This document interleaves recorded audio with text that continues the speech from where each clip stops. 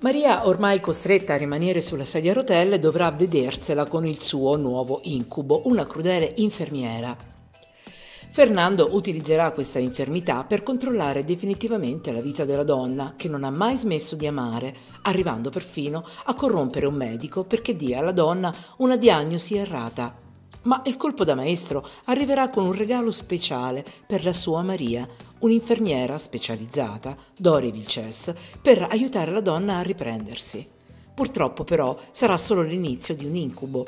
La Vilces, con i suoi modi bruschi e il suo duro carattere, metterà alla prova la già debole Maria, imponendole una riabilitazione al limite della sopportazione.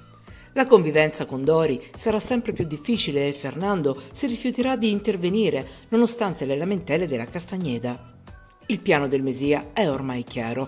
Vuole rimanere a Lavana e ordina all'infermiera di controllare Maria in ogni suo passo.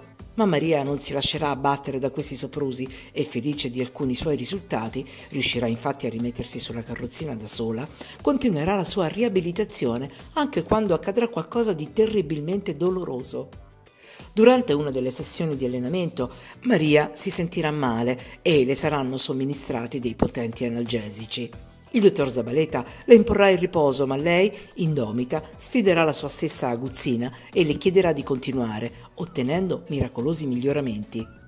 Fernando sarà terrorizzato dai progressi di Maria, che arriverà addirittura a muovere un piede. Il Mesia andrà così su tutte le furie e raggiungerà Dori per rimproverarla. Fernando è infatti molto arrabbiato del fatto che Maria si ostini a voler continuare la riabilitazione, nonostante lui abbia cercato di dissuaderla.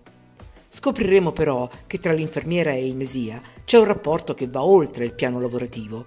La donna è perdutamente innamorata di lui.